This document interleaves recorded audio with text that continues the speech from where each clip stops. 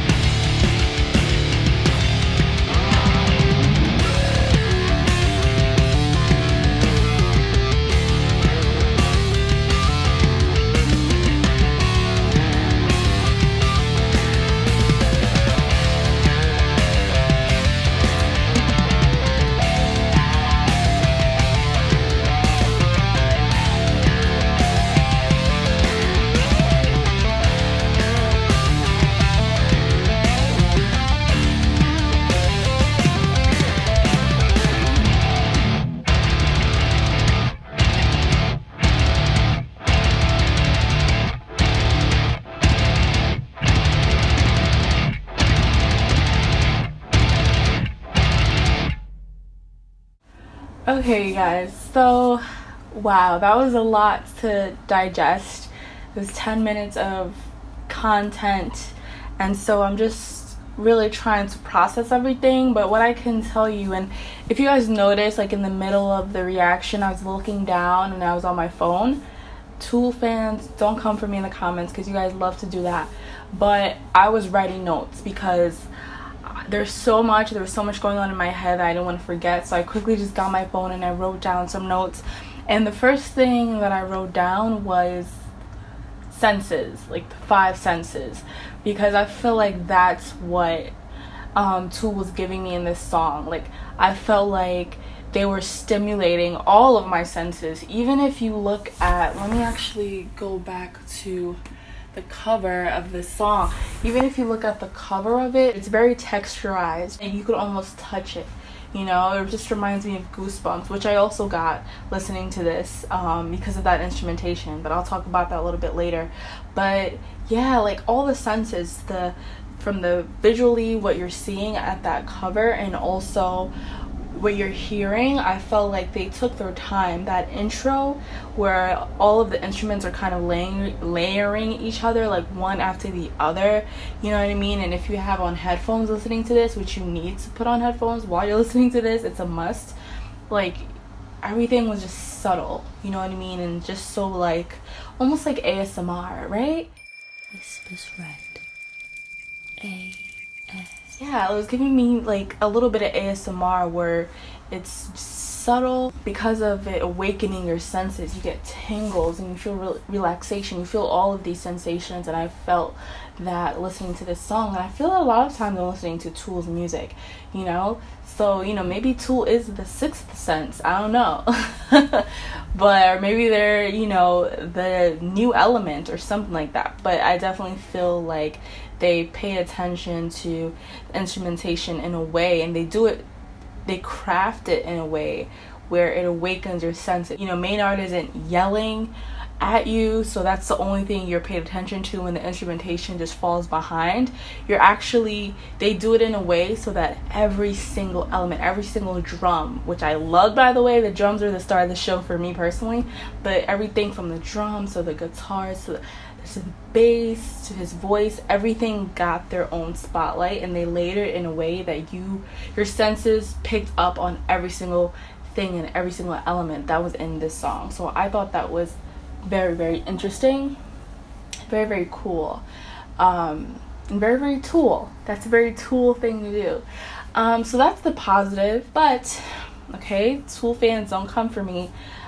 Um, when it comes back to playback ability and I always try to think about like okay this song is cool and I appreciate it for what it is but is this a song that I would play back? Is this something that I would listen to like daily even weekly? You know what I mean? Or would it go on my playlist? And I have to say with this song and honestly most tool songs there isn't much playback ability for me personally. You know what I mean? And the reason is because when I think of this song when I think of tools albums in general, I think of them as like works of art.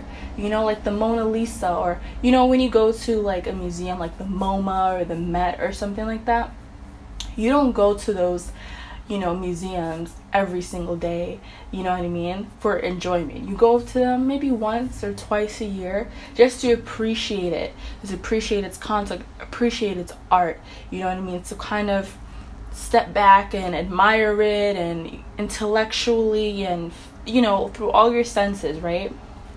But those are not things those are not daily enjoyments. Those are not getting ice cream. Those are not watching netflix. Those are not turning up and partying. And for me with the playlist and for what i listen to daily it's the kind of things where it excites me. It gets me going gets me pumped to get up in the morning to go to work to work out. And Tool songs just don't do that for me. I appreciate them as works of art, but as songs that I would listen to every single day, no, that's just not, you know, for me personally. And I was talking to a friend about this. Um, even though I appreciate the music and I appreciate Maynard and his voice and everything, I feel like personally, especially in the song, the instrumentation spoke to me more and had more of a personality than Maynard himself. You know, his voice, and I know that's the Tool aesthetic. Trust me, I know this. But his voice was kind of the same throughout. You know, and if you're talking about, and because we all know Tool lyrics are just like boom, right? They're very powerful. They always have a statement.